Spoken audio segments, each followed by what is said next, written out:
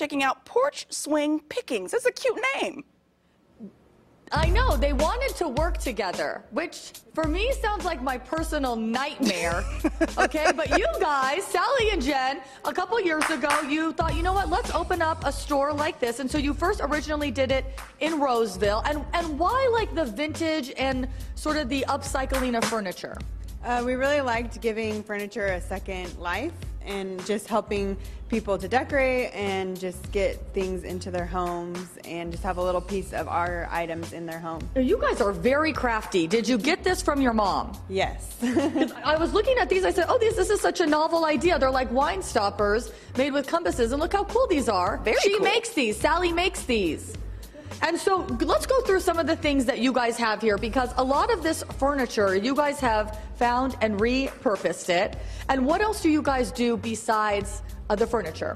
So um, all of the wood painted signs we create, and we have a lot of other items that are created. We have some local vendors, like a guy who makes cutting boards, and also like wood hearts. And then we also repaint furniture, and then we have some mixed uh, vintage inspired items. It's sort of unique to be in here because all the furniture that some of the smaller items are on is also for sale. And so what what happens if someone wants to buy this piece? Then you just got to take everything off and fi- find a new place for it? Yeah, we're totally happy finding a new place for it. I don't blame you. And so Jen helps make these signs that you can see and really you can kind of make whatever people want like if they wanted their last name on it or something. If they have like custom orders, can they come to you for that type of thing too?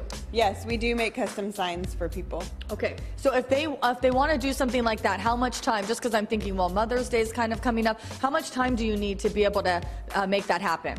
Usually about a week or two. Okay, about how long do people spend in this store? Because there is so much to look at in such a tiny space. Um, usually people take at least two laps. Yeah. So, you know, probably 15 minutes at least. Because there's a lot of like little things too. The more you're in here, the more things you keep seeing. Like, oh my gosh. So they really have something for everyone. A lot of great gift ideas too. Uh, if you want to be able to pick something up for that, they are here in Old Town Auburn. And I was just telling them how sweet. Every time we go to Auburn, we'll just be sitting in the truck. People will come out with coffee. They're like so nice here, which is why obviously Sally and Jen had to move and make sure that they have their spot here, Porch Swing Pickings in Auburn. So get on out here, check them out.